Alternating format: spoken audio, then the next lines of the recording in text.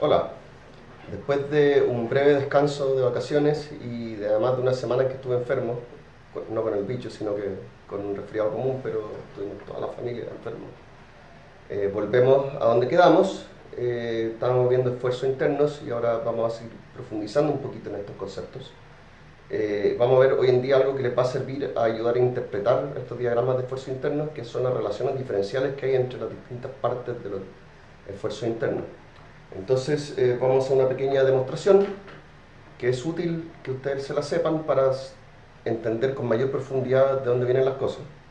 Eh, tengo aquí una viga que está conectada al resto de la estructura, pero hacemos un corte ahí a una distancia X de este empotramiento.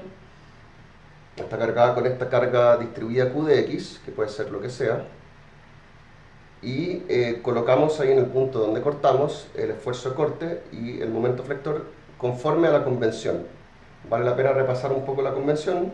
La convención es cómo nos ponemos de acuerdo los ingenieros eh, para expresar lo que son los esfuerzos internos y para estar todos de acuerdo con los signos. ¿ya? Entonces lo que dice es, eh, tengo X positivo en la dirección de la cara positiva. Entonces yo cuando corto, eh, definimos que la normal del corte, esa flechita que está ahí, que se repite aquí, es positiva si es que apunta en la misma dirección que x. En este caso x crece hacia la derecha, eh, la normal hacia la derecha va a ser una cara positiva. Y en esa cara positiva ponemos el esfuerzo corte hacia abajo y el momento flector según la regla de la mano derecha. Por el contrario, si es que cortásemos y nos quedáramos con la otra porción de la estructura, que también sería una opción, nos quedaríamos eso sí con una normal en la otra dirección y tendríamos que poner estos signos eh, para ser consistentes con nuestra, nomenclatura. Ya, eh, lo que falta aquí son reacciones, entonces voy a colocar aquí en el empotramiento una reacción vertical B0 y un momento M0 con esos signos. Entonces, lo que vamos a plantear ahora es el equilibrio Y el equilibrio que dice, dice sumatoria de fuerzas en I igual a 0, vamos a sumar todo lo que está en I. Entonces vamos a tener V0, la fuerza en el empotramiento, vamos a tener menos V de X, que es el esfuerzo corte, como función, eh, como función de donde estoy cortando, este X, y tengo la resultante de la carga distribuida, esa resultante es la integral entre 0 y el punto donde estoy cortando de la función de carga distribuida, y esto tiene que ser igual a 0. ¿Ya? Entonces podemos dejar expresado el, diagrama esfuerzo de corte como el corte inicial, como la reacción en el empotramiento, más la integral de la carga. Esto es interesante, pero más interesante aún es lo que sucede si yo tomo derivada aquí. Si yo tomo derivada, entonces me queda que la derivada del corte con respecto a x, así como función, se me va a esta condición inicial, y me queda la derivada de esta integral que no es nada más que la función que yo tenía. Eso por un lado. Ahora hagamos sumatoria de momento en torno al punto de corte igual a 0. Entonces voy a tomar momento en torno a este punto que tenía ahí arriba igual a 0. Entonces con respecto a este punto, ¿qué voy a tener? Voy a tener B0 voy a esperar que se me ponga el día la cámara, B0, eh, dando eh, momento negativo con un brazo X, entonces voy a tener menos X, B0, voy a tener M0, que es un momento negativo también, menos M0, voy a tener M, más M de X, así, eh, el esfuerzo corte no me da momento en torno a este punto, lo que sí hay que tomar momento de la carga distribuida, y para hacer eso vamos a tomar eh, algo que no hicimos acá arriba. En estricto rigor esta integral que yo tengo acá arriba, yo lo que debería hacer es tomar una variable auxiliar de x para no tener la misma variable x en el límite. Eso es lo matemáticamente correcto. Entonces para visualizar eso, vamos a suponer que vamos a ir acumulando aquí utilizando una x estrella. Entonces la x estrella va entre 0 y y el x y x estrella igual a x. Lo que me queda aquí, que es el brazo de momento, es x menos x estrella. Entonces, este pedacito que está aquí me da momento negativo, entonces va a ser menos, y va a ser q de x multiplicando el brazo x menos x estrella en dx, y eso lo integro entre 0 y x, y todo eso yo digo que es igual a 0. Ahí me queda un poco sin hoja. Pero vamos a hacer es, vamos a pasar todo lo que está con signo menos al otro lado de la ecuación. Entonces me queda que el momento es el momento inicial eh, más b0 por x más integral de 0 a x de x menos x estrella q de x dx ¿ya? y esta integral que está aquí lo que voy a hacer a continuación es separarla.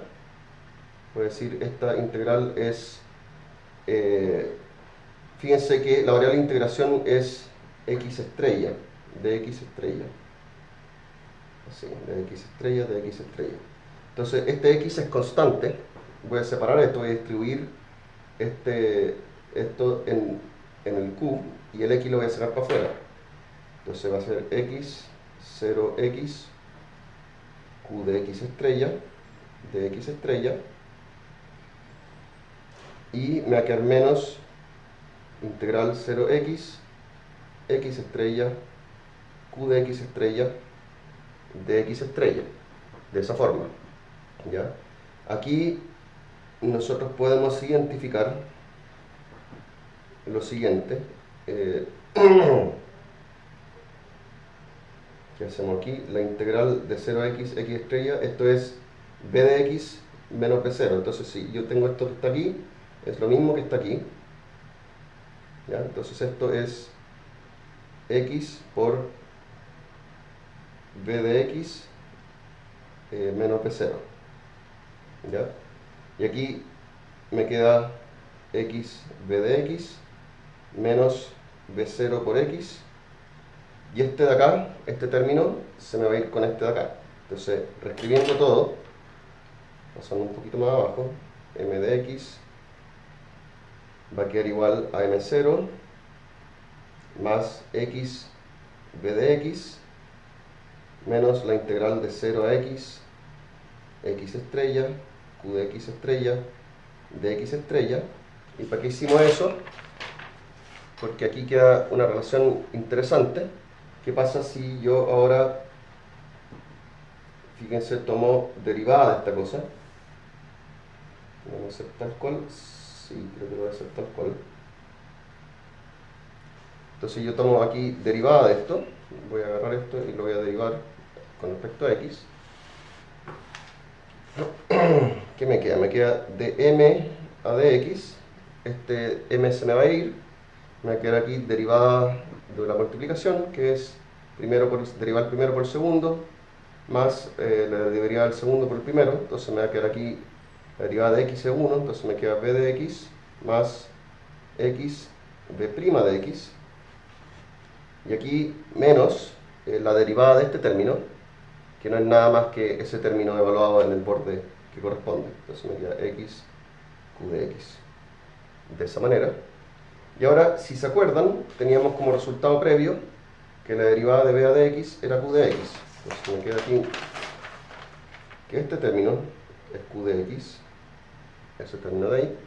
Por lo tanto, este término acá se me va con este y me queda el resultado final que la derivada del diagrama de momento es directamente el esfuerzo corte. Entonces, hemos aprendido dos cosas muy importantes, que la derivada del corte es la carga que yo tengo aplicada, la carga distribuida, y la derivada del momento es el corte. ¿ya?